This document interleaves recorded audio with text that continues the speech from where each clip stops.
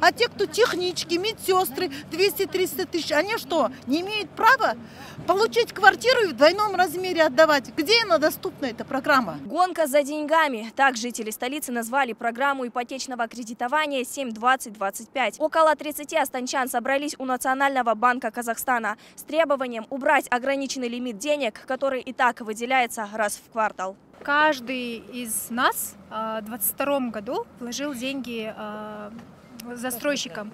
Застройщик, с застройщиками мы договорились, что 7, 20, 25 действует. Некоторые застройщики не 20%, а 30% взяли э, с каждого человека, да, например.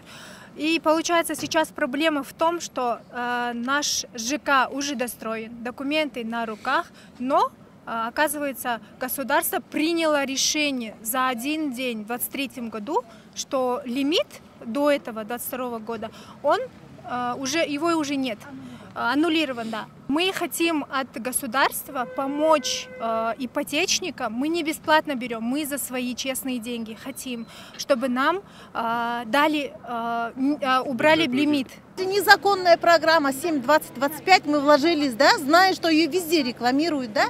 И получается, мы вот просто за свои деньги в двойном размере будем отдавать эту сумму, правильно? Мы не можем. Я вот, допустим, ночью простояла, везде пишут мне это от возмущения, что мы стояли за консультациями. Какие консультации? Какие консультации, да, мы Нет, стояли. Вот, это, вот я с документами пришла, да. понимаете? Я, я там стояла с документами. Восьмая по очереди, и то у нас оформились 3-4 человека, и то вместо 20 миллионов, кто просил, дали 12, кому-то 6 миллионов, остальные все. Мне 55 5 лет, да, и мне ее не могут одобрить. Почему? Я законопослушный человек, я плачу налоги. Из зарплаты 400 тысяч, 40 тысяч уходит на пенсионные и на остальные налоги, правильно? А почему сейчас одобряет в банках, фридом, везде говорят, одобряет, даже если будет, в основном у кого зарплата 500 тысяч. У всех первая квартира, еле как собраны деньги вот эти.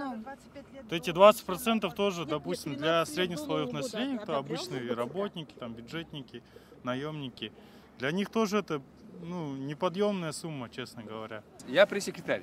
Я не отвечаю за, там, за распределение лимитов. Я сейчас переговорю с, со структурами, которые там готовы, угу. и организую вам встречу. Получается, они у нас только взяли обращение, чтобы э, там в обращении мы указали, чтобы хотя бы ежеквартальный лимит, они, э, ну как бы, э, весь лимит, который есть, 100 миллиардов, мы потратили в первом квартале, либо же вообще убрать лимит 100 миллиардов в год.